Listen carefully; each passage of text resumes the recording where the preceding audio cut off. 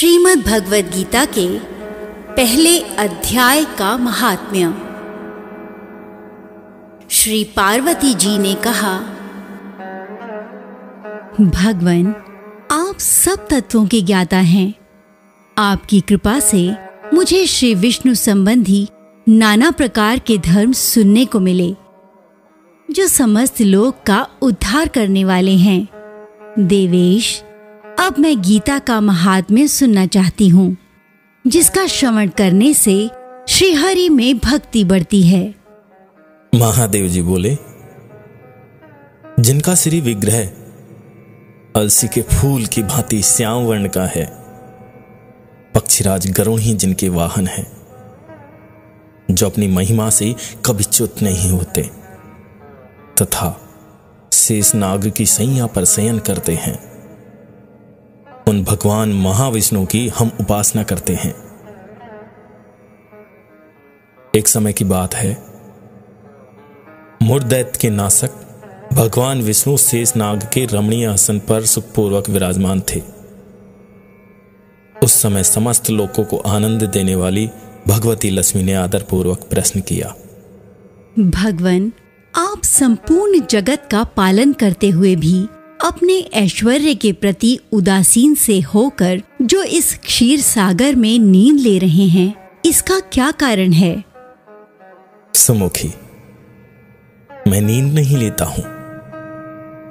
अभी तो तत्व का अनुसरण करने वाली अंतर्दृष्टि के द्वारा अपने ही महेश्वर तेज का साक्षात्कार कर रहा हूँ। देवी, ये वही तेज है जिसका योगी पुरुष कुशाग्र बुद्धि के द्वारा अपने अंतकरण में दर्शन करते हैं। तथा जिसमें मीमांसक विद्वान वेदों का सार तत्व निश्चित करते हैं, वे महेश्वर तेज, एक अजर प्रकाश स्वरूप आत्मा रूप रोग शोक से रहित, अखंड आनंद का पुंज निष्पंद तथा द्वैत रहित है। इस जगत का जीवन उसी के अधीन है। मैं उसी का अनुभव करता हूँ। देवेश्वरी, यही कारण है कि मैं तुम्हें नींद लेता सा प्रतीत हो रहा हूँ। ऋषिकेश, आप ही योगी पुरुषों के ध्येय हैं।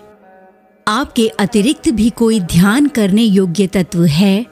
ये जानकर मुझे बड़ा कौतूहल हो रहा है। इस चराचर जगत की सृष्टि और संहार करने वाले स्वयं आप ही हैं। आप सर्व समर्थ हैं। इस प्रकार की स्थिति में होकर भी यदि आप उस परम तत्व से भिन्न हैं तो मुझे उसका बोध कराइए।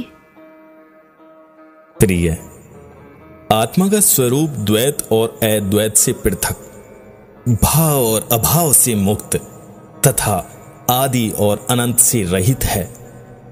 शुद्ध ज्ञान के प्रकाश से उपलब्ध होने वाला तथा परमानंद होने के कारण एकमात्र सुंदर है। वही मेरा ईश्वरीय रूप है। आत्मा का एकत्व ही सबके द्वारा जानने योग्य है। गीता शास्त्र में इसी का प्रतिपादन हुआ है।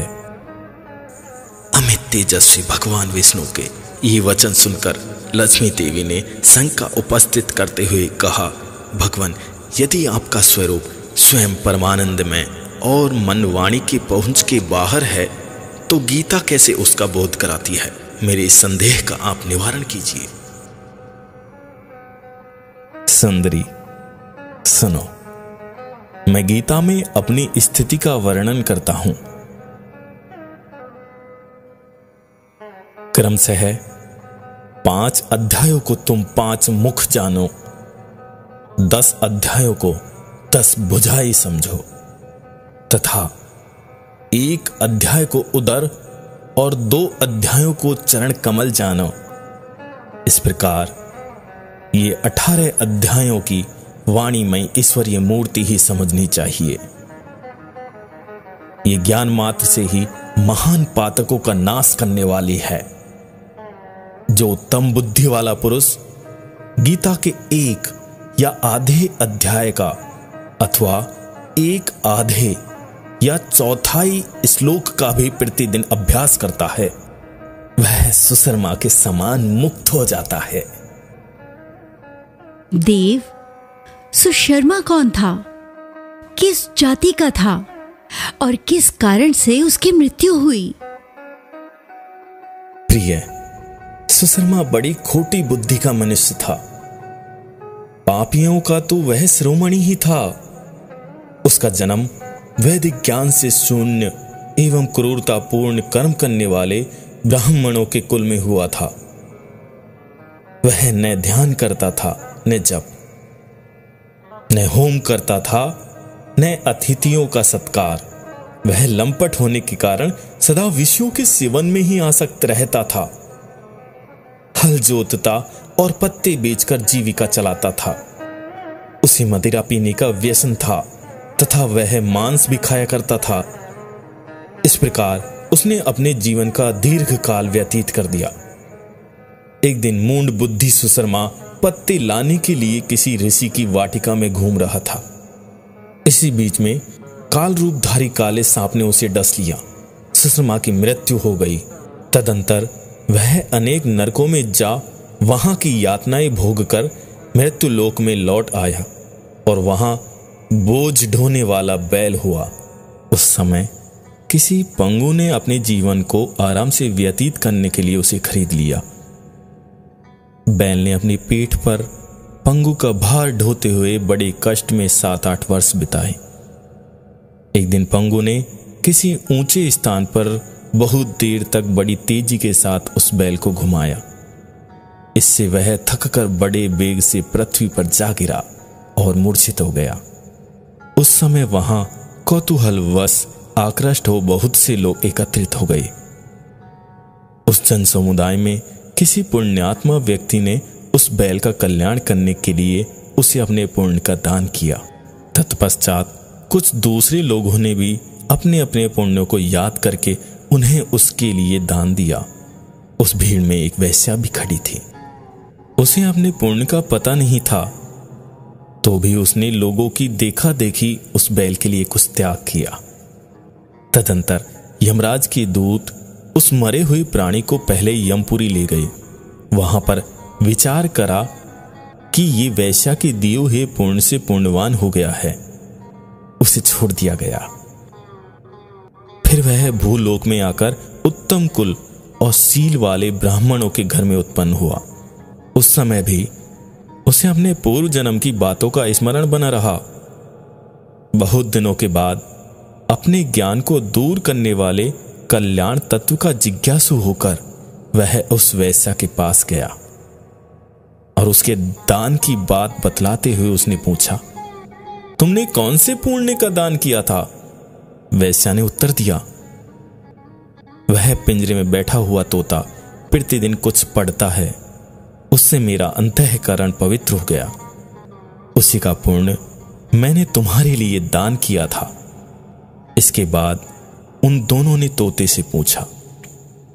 तब उस तोते ने अपने पूर्व जन्म का स्मरण करके प्राचीन इतिहास कहना आरंभ किया।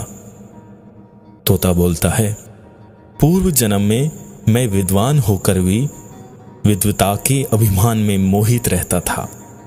मेरा राग द्वेष इतना बढ़ गया कि मैं गुणवान विद्वानों के प्रति भी ईर्ष्या भाव रखने लगा। फिर समय अनुसार मेरी मृत्यु हो गई और मैं अनेकों घृणित लोकों में भटकता फिरा। उसके बाद इस लोक में आया। सदगुरु की अत्यंत निंदा करने के कारण तोते के कुल में मेरा जन्म हुआ। पापी होने के कारण छोटी अवस्था में ही मेरा माता पिता से वियोग हो गया। एक दिन मैं ग्रीष्म ऋतु में तपे हुए मार्ग पर पड़ा था। वहाँ से कुछ श्रेष्ठ मुनि मुझे उठा लाए और महात्माओं के आश्रय में, आश्रम के भीतर एक पिंजरे में उन्होंने मुझे डाल दिया। वहीं मुझे पढ़ाया गया। ऋषियों के बालक बड़े आदर के साथ गीता के प्रथम अध्याय की आवर्ती करते थे। उन्हीं से सुनकर मैं भी बारंबार पाठ करने लगा। इसी बीच में एक चोरी करने वाले बहेलिए ने मुझे वहाँ से चुरा लिया। तत्पश्चात इस देवी ने मुझे खरीद लिया। यही मेरा वृतांत है, जिसे मैंने आप लोगों को बता दिया है। पूर्व काल में मैंने इस प्रथम अध्याय का अभ्यास किया था, जिससे मैंने अपने पापों को दूर किया है। फिर उसी से इस वैसा का भी अंतःकरण शुद्ध हुआ है, और उसी के पूर्ण से ये द्विश्रेष्ठ सुश्रमा भी पाप मुक्त हुए हैं। इस प्रकार परस्पर वार्तालाप और गीता के प्रथम अध्याय के महात्म्य की प्रशंसा करके वे तीनों निरंतर अपने अपने घर पर गीता का अभ्यास करने लगे। फिर ज्ञान प्राप्त करके वे मुक्त हो गए। इसलिए जो गीता के प्रथम अध्याय को पढ़ता है, सुनता है तथा अभ्यास करता है, उसे इस भवसागर को पार करने में कोई कठिनाई नहीं होती।